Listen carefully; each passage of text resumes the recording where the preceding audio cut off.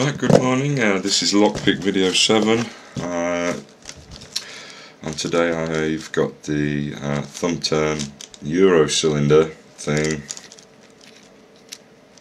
uh, 6 pin, unbranded. Uh, doesn't necessarily mean it's easy though, but it is uh, pickable and it does work, it is locked. There as you can see uh, and I've picked it already off camera.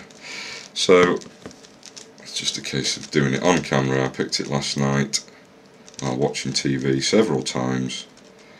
I'm going to use the uh, Storm Half Diamond Reach one of my favourite picks at the moment just because they work uh, and they give you a lot of feedback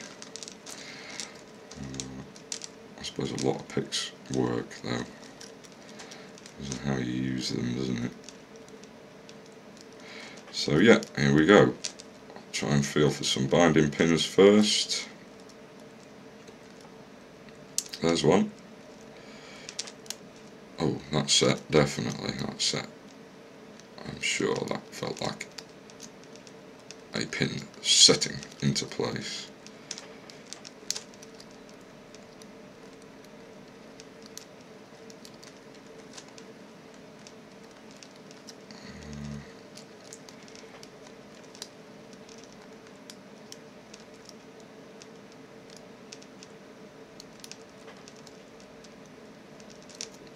So how long will it take?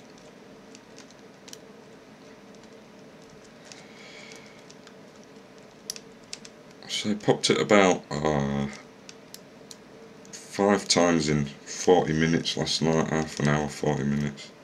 Seem to have the knack for it, the feel. I thought, oh, I'll have another go at that tomorrow morning on camera. See if I can get that tomorrow.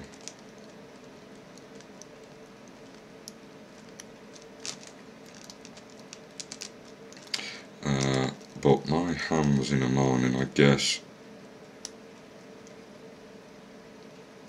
a bit heavy and clumsy.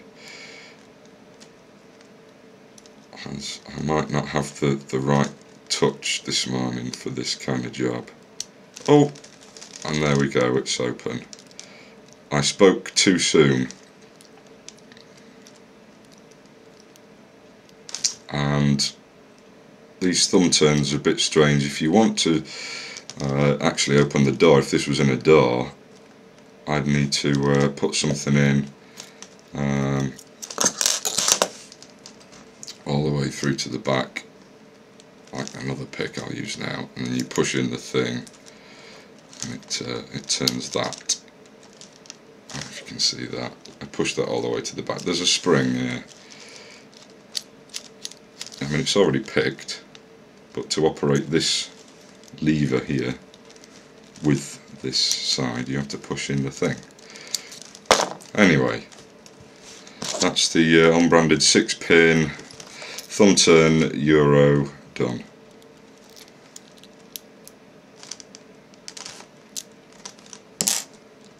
There we go.